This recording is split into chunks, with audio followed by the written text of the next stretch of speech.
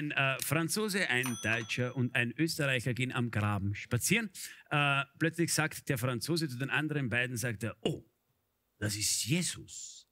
Weil vor ihnen geht ein Herr äh, im weißen Gewand mit einem leichten Ansatz von Heiligenschein, sagt der Deutsche, oh ja, ich denke, oh, das ist der Jesus, natürlich. Auch der, äh, der, der, der Österreicher sagt, ich glaube, das ist der Jesus. Ungefähr so stellen wir den vor. Äh, auf einmal dreht sich der Jesus um und sagt, ja, ich bin's. Ich bin Jesus. Schaut den Franzosen an und sagt, du hast einen Herzfehler.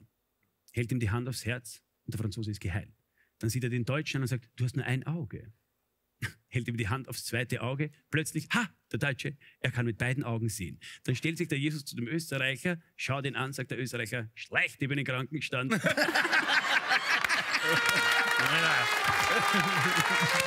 ja,